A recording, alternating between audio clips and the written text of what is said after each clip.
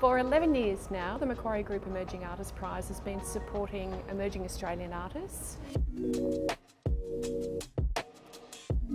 I'm joined now by the collection's curatorial consultant, Felicity Fenner, who's going to chat to me about the calibre of, of, the work, the importance of the prize, mm -hmm. and what we saw this year.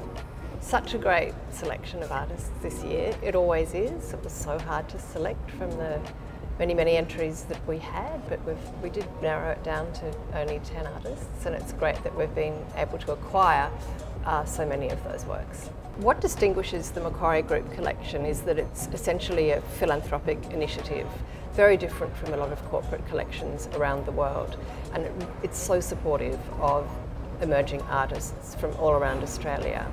And also Macquarie staffers get to enjoy it in any of the offices around the world.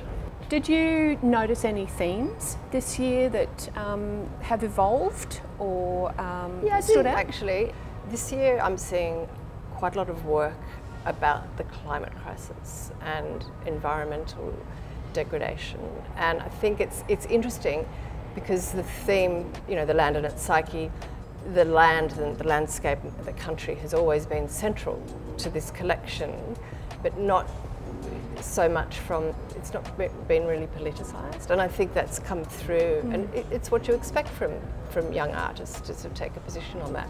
And I, I, think, I think it's fabulous that they're also able to make work of such high calibre that talks to those issues.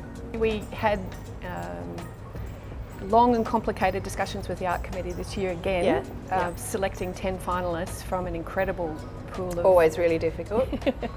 What's your opinion of how the media has changed over the, over the 10 years of the prize? Well, yeah, I was thinking about that when we were doing the selection. I think of the 10 that we've chose, three are working with ceramics, which we haven't had before. So I think there's been quite a move away in the 11 years we've been running the prize from two-dimensional work, like painting, drawing. Um, there is some painting in, still in the mix, but we had a lot of people um, uh, submitting images that were photo-based. There were some videos in the mix, um, and certainly in the top 10, I think we've got a lovely range of painting, ceramics, and photography. Great.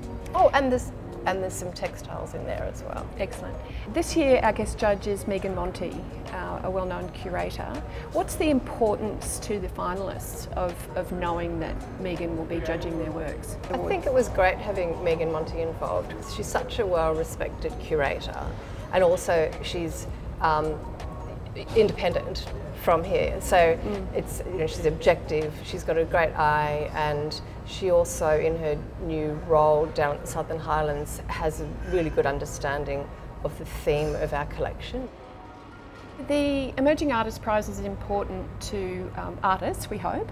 Um, how is it important to the collection, the Macquarie Group collection? It's really important to the collection. Um, so this will be our 11th year of doing the Art Prize and from each of those previous 10 prizes we've acquired quite a few works. Um, I think it's important, it raises awareness for us of artists who are out there, just the fact that it's an open call. We get entries from artists we might not have otherwise identified as suitable for the collection and th then once the works are in of course we've got you know, the two or three awards each year it's acquisitive.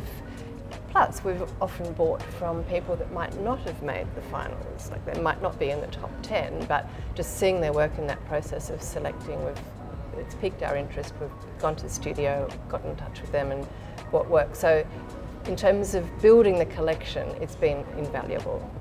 Thank you Felicity for your insight into this year's exhibition. It's um, our favourite time of the year to support emerging Australian artists. It's been a great experience and really inspiring actually to see the calibre of work this year and I'm very pleased now that it's up that so many people have an opportunity to come and see the exhibition.